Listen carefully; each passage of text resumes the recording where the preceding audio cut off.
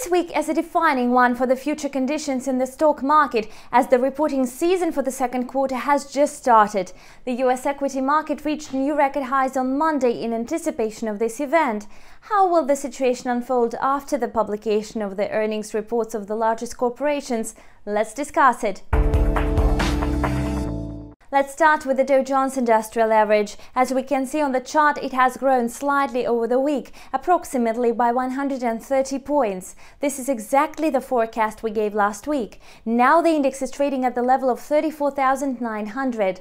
However, after the publication of corporate reports for the first half of the year, its value may exceed 35,000.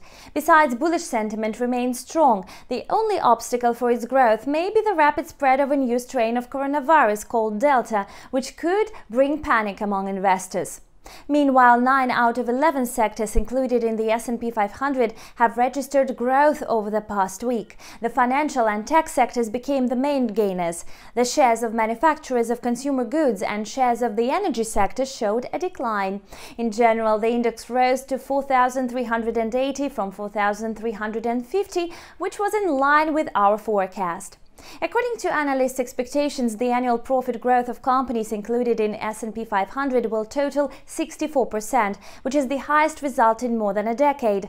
If so, the index is surely to add gains, rising to 4,400. Will it really happen? We'll find out soon. Nasdaq Composite showed a similar dynamic. Over the week, it has grown by 70-80 points. Last Thursday, it declined sharply amid the week's uh, U.S. labor market data.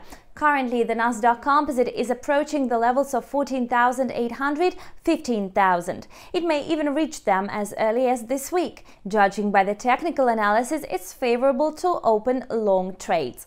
Last week, Tesla shares rose by more than $20. This gain was primarily due to positive expectations about the company's earnings report. So far, Tesla has rarely disappointed investors with weak results. This is why they expect an upbeat report.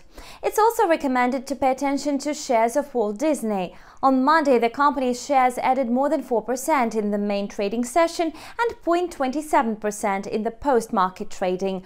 The reason was the reopening of movie theaters in many countries. Besides, its new movie Black Widow topped the worldwide box office. In the near future, such companies as PepsiCo, Goldman Sachs, JP Morgan and others will publish their quarterly reports. Economists are betting on high results for all three companies.